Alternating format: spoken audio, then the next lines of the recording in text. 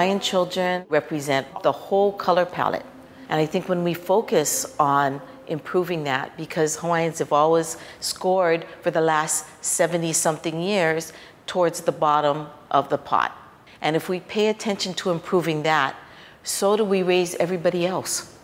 So I don't think it's about focusing on one. I really think that it's looking at that as a huge opportunity to impact the broader of education for all children in Hawaii. Ila hui na awau Hawaii pono. Ila hui Hawaii pono na awau. Ila hui na awau Hawaii pono. Ila hui Hawaii pono na awau.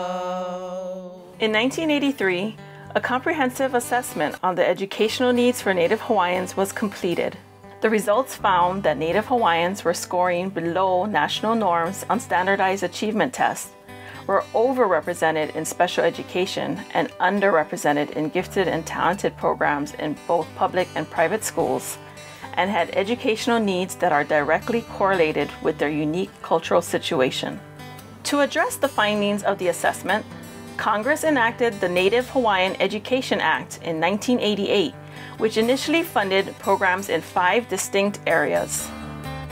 In 1994, the reauthorized Native Hawaiian Education Act established the Native Hawaiian Education Council to coordinate, assess, and report and make recommendations on the effectiveness of existing education programs for Native Hawaiians, the state of present Native Hawaiian education efforts, and improvements that may be made to existing programs, policies, and procedures to improve the educational attainment of Native Hawaiians.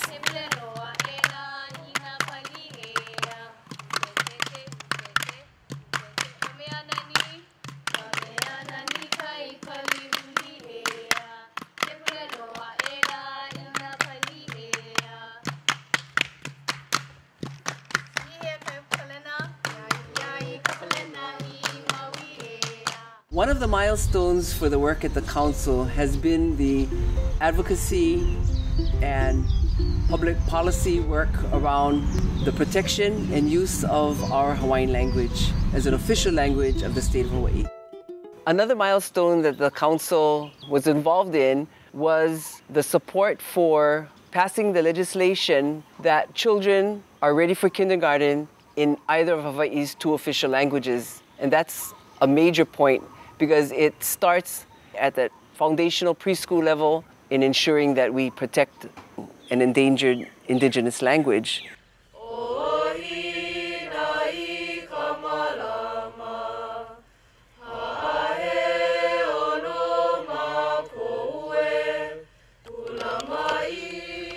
In terms of Na Honua Mauli Ola, it really began where our communities were kind of coming into the fold. I think it was a voice that they had within them about wanting to do different things and different ways of fostering learning.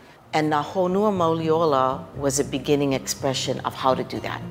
Na Honua Mauli Ola is a set of 16 Hawaiian cultural guidelines with support strategies to assist learners, educators, families, schools and institutions, and communities with a way to examine and attend to the educational and cultural well being of all its learners. Every part of the book to me is awesome. Like, we recommend that everybody who is licensed in the state of Hawaii have at least one semester of Hawaiian culture and language because they're teaching our kids. And but for me, I knew you had to do the strategies. Okay, I'm a classroom teacher, that's what I need. I want to go to a workshop and be able to use it tomorrow. We even took it to the National Indian Education Association conference. They were fascinated that we finally would have a way to assess cultural learning.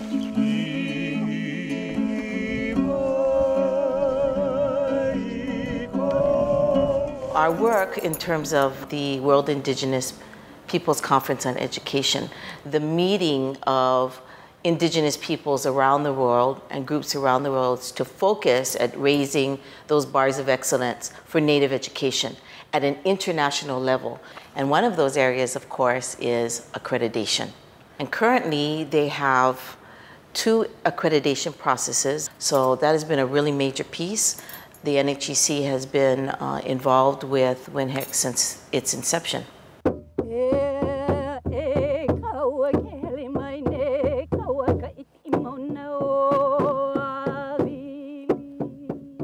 Ulukau is actually a perfect example of the kind of work that NHEC has been involved with. It began as a digital Hawaiian language dictionary. So one of the areas within Ulukau has been our curriculum database.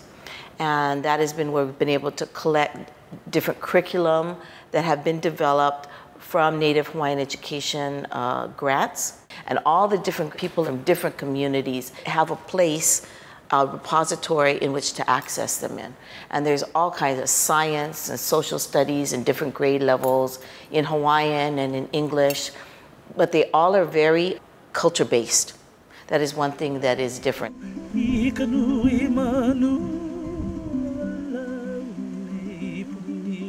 If I were to say the thing that I think is the most important of our work from the beginning is that we have created and nurtured and fostered a broader voice for, for education that we didn't have prior. You know, it was much more top down of what we do in schools and trying to meet mandates that were set instead of trying to figure out how we work all the strengths and talents we have in our community across education to impact education better. I think that's really an excellent piece of work. It has not been easy because we have to actually go back and take a temperature check on that. And we have to revitalize those things that made us strong at one time and figure out how to bring those timeless, important best practice back into the fold of education. So of course, Olelo has a big part in that. Culture has a big part in that. Place, genealogy have a big part in that. And so the reason why I've stayed so long is because although membership has changed, everybody that has come has come to the table with a commitment to education. Moving forward, the Council's five year strategic vision articulates tactics in three areas supporting the use of culture based education strategies for student learning, growth, and achievement, engaging with Native Hawaiian education stakeholders, including policy and advocacy work for the benefit of Native Hawaiian families and communities, coordination of repositories and studies for culture based curriculum, instruction, assessment, and evaluation work.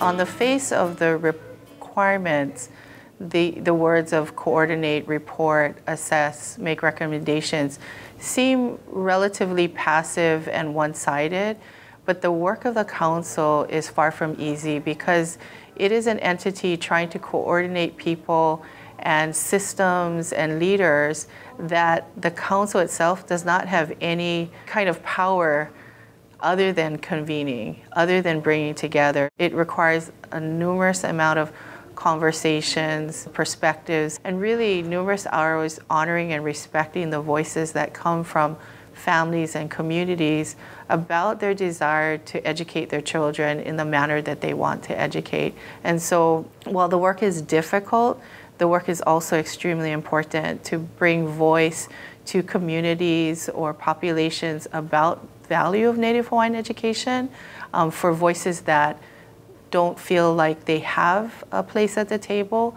or a way to express those things are important to them as families. I think we're starting to see the value of this greater systemic work and being partners in that work. And, the, and, that outcome is really about empowering our people. And education is one of those key strategies to do that. And the Native Hawaiian Education Council has been really critical to the conversation. It's really been a wonderful journey. I do feel like I'm making a difference. I'm able to be a part of what I see as a change happening. And I think that's really important that this is really about positive change and about helping all of our students, and in particular, of course, our Native Hawaiian students succeed. And so for me, I get I get a tremendous amount of satisfaction from that.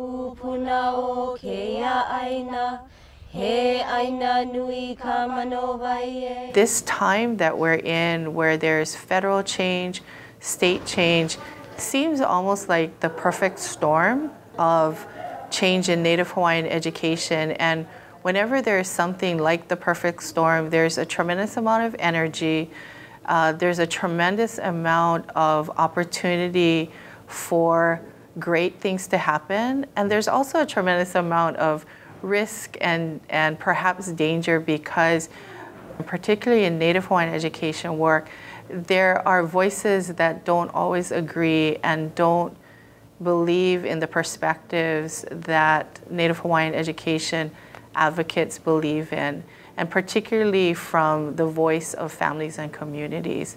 And so while it is an exciting time uh, to be in, it's also a time of change. And we know that whenever there is change, uh, people react differently to change. Some excitedly embrace it, others are fearful of the change.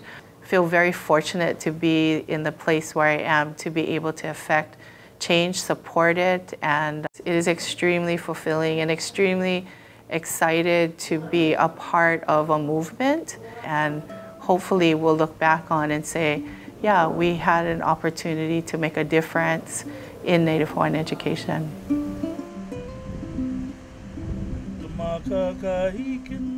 Being that I taught Hawaiian language and Hawaiian culture for about 30 years, I knew, I always knew, culture-based ed is the only way to go. But what makes me excited is teaching these kids about the place where they come from and the beauty of the culture these kids had a foundation in knowing who they were. And even if they were not Hawaiian, they became island people because of learning about the culture.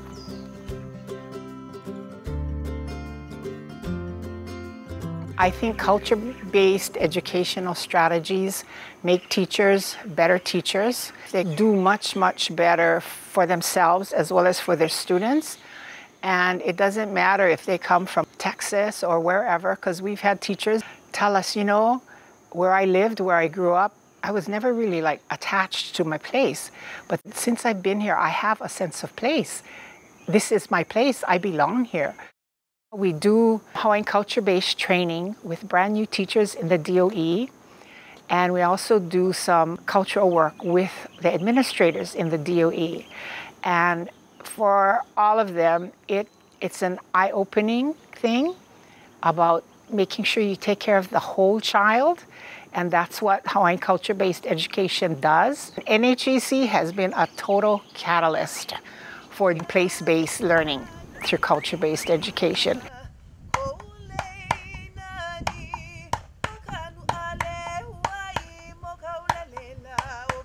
We don't understand really the potential that a child has. I remember as a child um, taking the IQ test. IQ tests were really big then. At kindergarten, I scored at the borderline of special ed. And the principal told my mother at that time that I could never amount to be much than maybe a good mother, and the world needs good mothers. Where would I have been if I was tracked from kindergarten, and that's where I was stuck for the rest of my life, never knowing the potential of my own possibilities. And it's the process of education's job to bring out the best and to strengthen the best in every child. And so I get up every morning and I do that work because our children deserve the best of what we have in our generation to move those paradigms forward because they cannot experience that same thing. And that's all part of that experience of being acculturated into another cu culture, that we don't quite honor and respect what children bring into the classroom.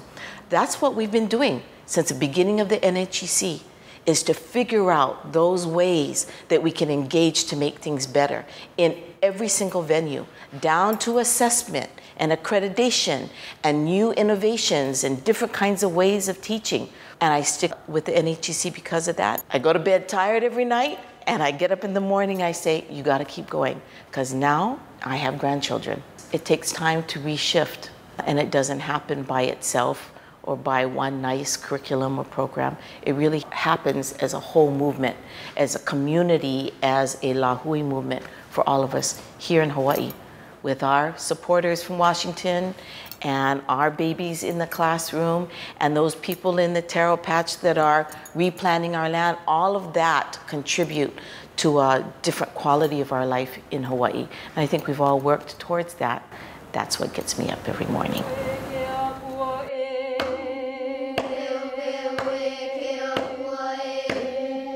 We would like to mahalo the many committed educators and community members who have served on the Council without compensation for the past 20 years. We honor those who have passed and those who are no longer members of the Council but continue to serve diligently for the benefit of our Lahui.